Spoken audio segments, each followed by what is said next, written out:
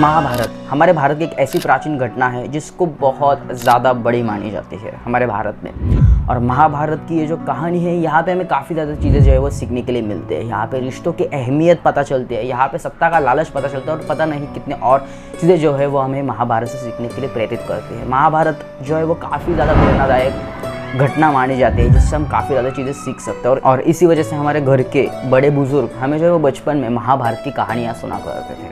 महाभारत की कहानी हम जब भी सुनते थे हमें काफ़ी अच्छा लगता था काफ़ी मज़ा आता था। लेकिन जैसे जैसे हम बड़े होते गए हमें ये सवाल उठने लगा कि क्या महाभारत की जो कहानी है या फिर महाभारत की जो घटना है वो सच में क्या घटित या फिर ये कोई फिक्शनल कहानी है? जो बनाई गई है। और आज की इस वीडियो में हम इसके बारे में बात करने वाले हैं कि क्या महाभारत सच में घटी थी या फिर नहीं, या फिर एक कोई फिक्शनल कहानी है। महाभारत से जुड़े हुए कोई चीज़ों के बारे में जानने वाले हैं जो आज भी एग्जिस्ट करती है इस दुनिया में। तो ज़्यादा टाइम वेस्ट नहीं करते, फटाफट से इस वीडियो को शुरू कर देते हैं। सो हेलो फ्रेंड्स सब मेरा नाम है अद्य पवार और आप सबका स्वागत है आज की इस नई वीडियो में जिसका टाइटल नेम है the proofs of Mahabharat.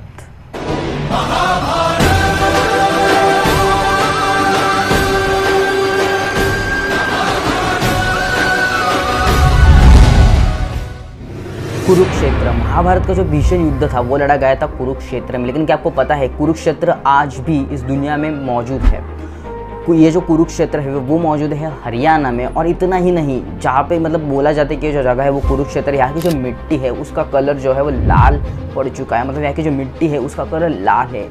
यहाँ के जो लोग हैं, वो ये बताते हैं कि महाभारत में जो युद्ध हुआ था, जहाँ पे जो है वो लाखों करोड़ लोगों की जाने गई थी, जहाँ पे बहुत सारा खून बहा था उसी वजह से यहाँ की जो मिट्टी है, उसका कलर जो है वो लाल पड़ चुका है। और इतना ही नहीं आर्कियोलॉजिस्ट को जो है वो यहाँ पे महाभारत से जुड़े हुए काफ़ी ज़्यादा जो है पुराने हथियार भी मिल चुके हैं, जिसके अंदर तलवारें हैं, भाले हैं और तीर हैं।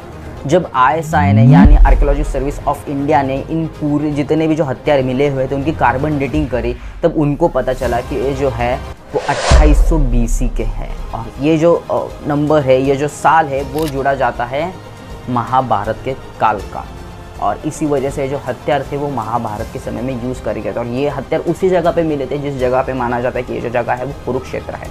और वहाँ की मिट्टी का रंग लाल है। और ये बहुत बड़ा प्रूफ माना जाता है कि महाभारत का युद्ध सच में हुआ था या फिर नहीं। इससे हमें क्लियरिटी मिल जाती है कि कुरुक्षेत्र मौजूद है आज की दुनिया में।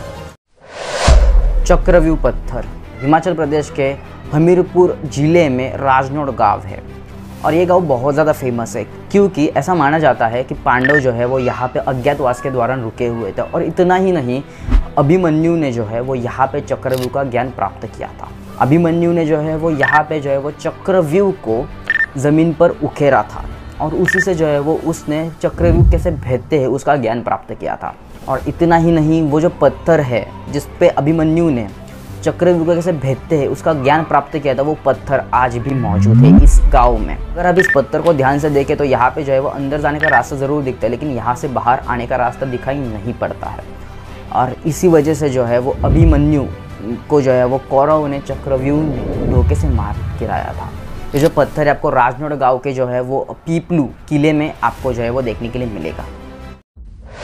लक्षाग्रह। अगर आपने महाभारत को जो है वो पढ़ा होगा या फिर आपने महाभारत को जो है वो टीवी पे देखा हो तो आपको एक चीज़ के बारे में ज़रूर पता होगी, जो कि है लक्षाग्रह।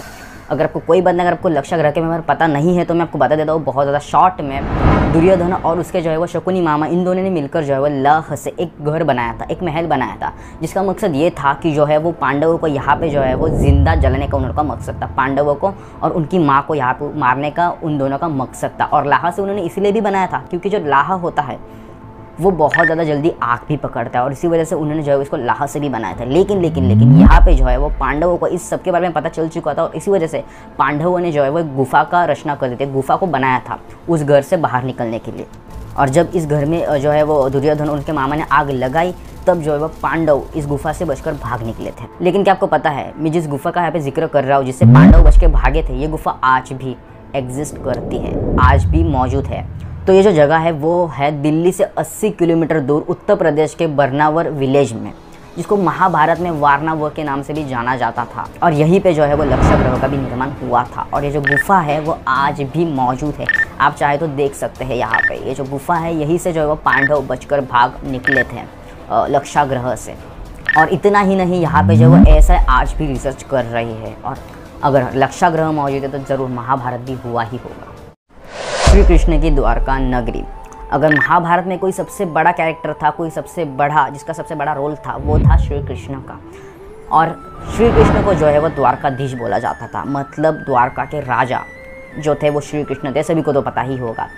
और इतना ही नहीं, महाभारत में द्वारका नगरी का काफ़ी ज़्यादा बड़ा जो है वो ज़िक्र किया गया है। महाभारत में बताया गया है कि जो द्वारका नगरी थी वो समुद्र के बीचों बीच थी और इतना ही नहीं, जब महाभारत का युद्ध खत्म हुआ था तो उसके कुछ सालों बाद जो है वो द्वारका नगरी जो पानी के बीचों बीच थी वो पानी में समा गई थी, जो कि पानी में डूब गई थी। इसका भी हमें जो है वो ज़िक्र महाभारत में मिलता है।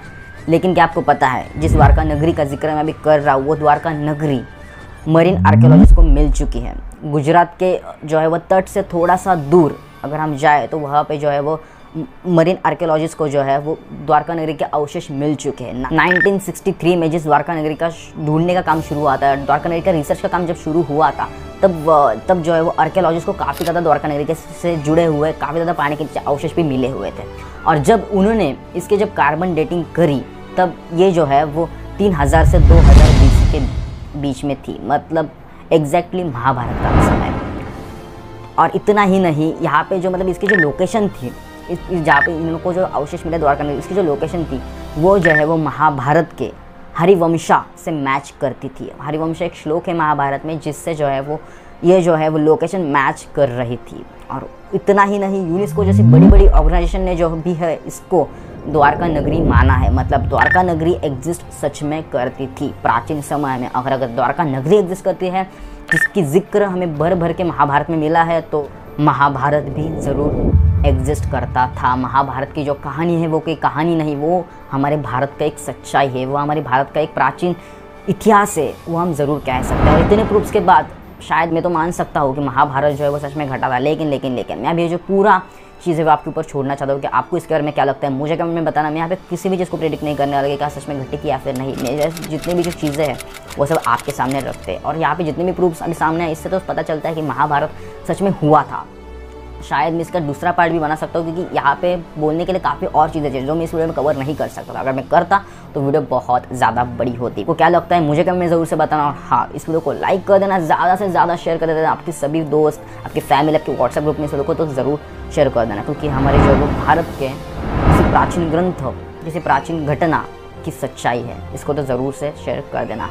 चैनल पे पहली बार आए हो चैनल को सब्सक्राइब कर देना वीडियो को ज़्यादा से ज़्यादा शेयर करना, आपके सभी फ्रेंड्स के साथ वीडियो को लाइक भी कर देना, और मुझे जो है वो कम में ज़रूर से बताना कि आप जो है वो कौन से कौन से अगले अगले टॉपिक के ऊपर वीडियो देखना चाहोगे मैं बहुत ज़्यादा एक्साइटेड रहूँगा अगर आप मुझे जो है वो वीडियो बनाने के लिए टॉपिक दोगे तो। तो मैं मिलता आपको ऐसी कमल की अगली नहीं ग्रेट हेल्पफुल वीडियो में, तब तक thank you watch and good bye